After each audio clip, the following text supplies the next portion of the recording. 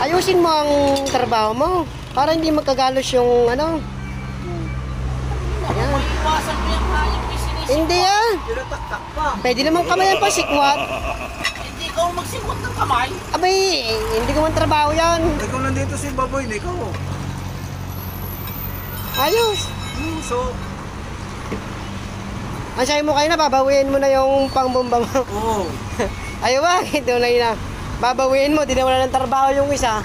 Eh, paano kikita? Hihipa na lang niya. Kaya mo ka pito ang ihip lang. Ha? Ba't papaltan na yung gulong? Ang gan... Oh, makatama ka. Makapal pa ang gulong, papaltan mo na. Pati niya. Ang pagkakapal na fly. Ipo ako na ang. Yan o, yan o ang tamang pagpapalit ng ano ng gulong sa miyong. Saan nasa ulay? Oh.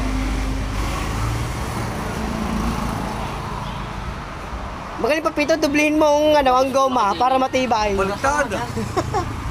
Baliktad. Para sa bintarin ka. Baliktarin mo, Rame.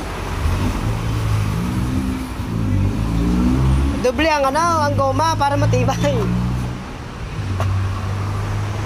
Patay, gas-gas na naman.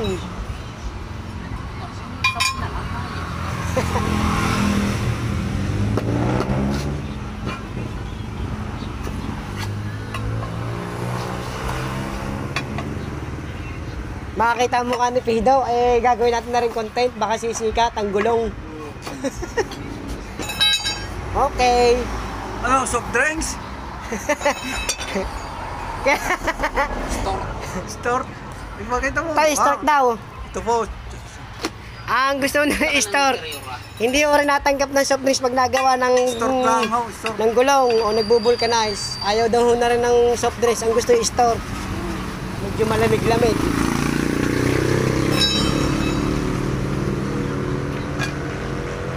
Ano ka, right?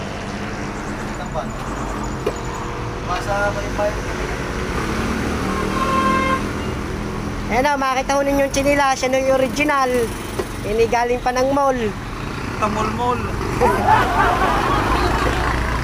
Kaya naman bilis magawa ng aming vulcanizing na ito. Iyari agad eh.